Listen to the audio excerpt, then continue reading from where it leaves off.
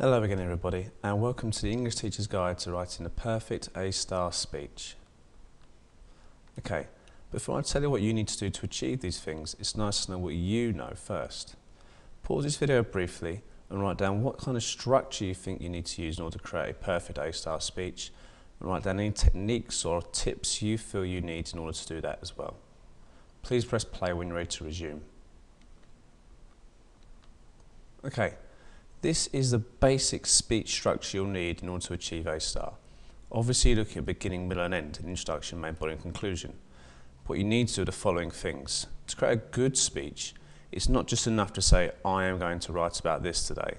That's how you're going to get a D or a low C.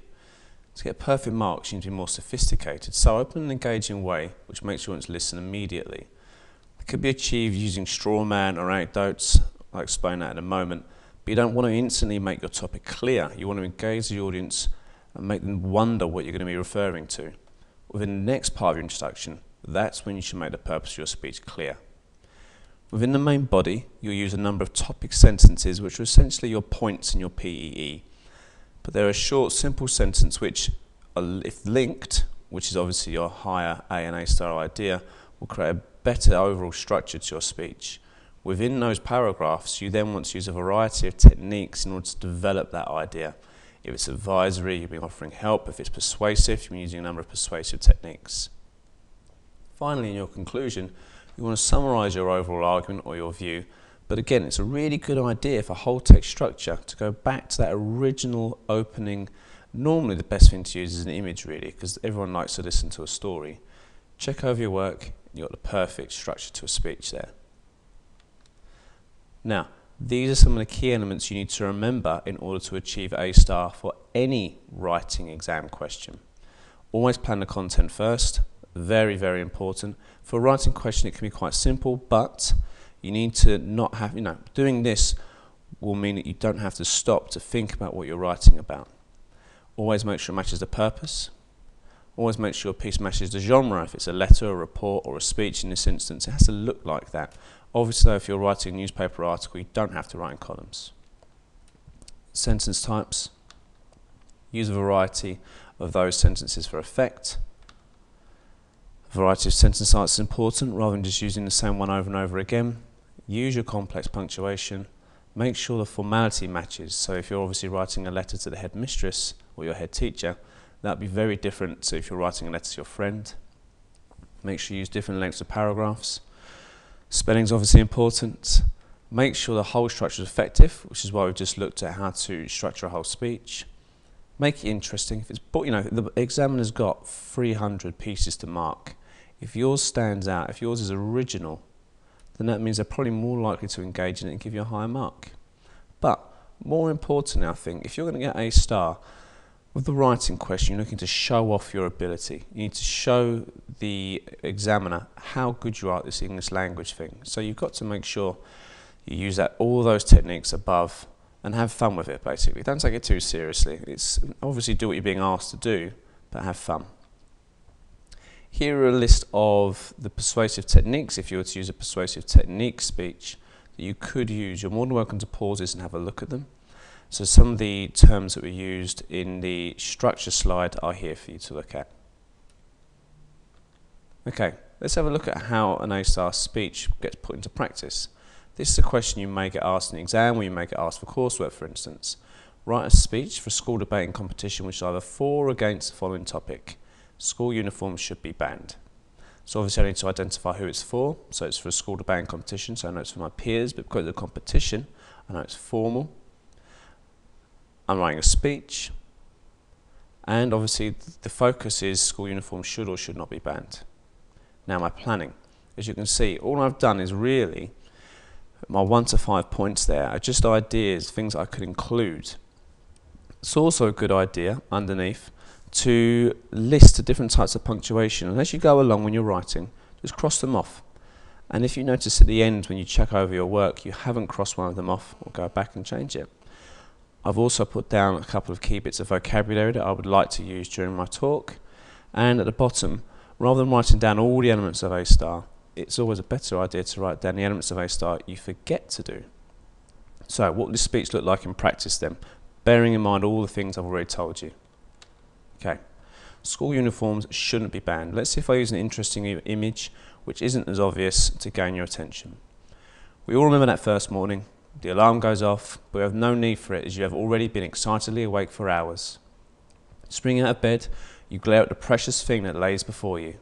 As you digest what you have been made on this special day by a gleaming parent, you begin to consider how the day will unfold. After finishing off the last of your cereal, you choose for this momentous occasion. You run upstairs and begin to place on the new garments on. The crisp new trousers or skirt, the delightful new shirt or blouse, but above all else, you've been looking forward to placing the new tie and blazer upon yourself. You finally belong. The first day of school is a special occasion. A big fuss is made of the way we look when we first descend the stairs to be hugged and kissed and photographed by our proud and delighted parental figures. That day is made all the more special by our uniforms, and even though making our loved ones proud of us should be enough, uniforms should be worn for a plethora of reasons. So notice those first three paragraphs are all my introduction. It's not necessarily clear what my speech is going to be about initially, but you can see whatever it is, it's a positive thing. Obviously supporting my argument that uniforms shouldn't be banned. Now, let's see my topic sentence. Firstly, uniforms help to create a strong sense of community. Done. Nice and simple. You now know what the rest of this paragraph is going to be about. We all like to belong. No one wants to be the child sat on their own at lunch, do they? Whenever you watch sporting events or military positions or even a group of choir singers, they have one thing in common uniform. I'm using repetition of uniform here, and this is a tricolon structure, a rule of three. So notice how I list things in threes. Whenever you watch a group of pilots walk by in an airport, or see your national side collecting a trophy, or even see a postman cycle down the street, they will have one thing in common uniform. Uniforms help to create a sense of belonging. It helps to create a sense of pride and identity. It helps us to feel as though we belong. Now it's a collective pronoun we, so I did we can do it together. Without uniforms, our community will become fragmented and ruined. Who would you turn to if you saw an accident and needed immediate help? Who would help you if you needed assistance picking out your new headphones and wanted advice? And who could you turn to if, you if someone you love required medical attention? Uniforms help us to understand our roles within society, but whilst at times we may appear different, our uniforms help us to understand our place in the world and how we can make it a wonderful place to live in. Let's move on. Let's see it's nice and cohesive now. As I've previously hinted to, so again, linking to ideas above, uniforms help to eradicate problems. Nice clear topic sentence, nice and cohesive.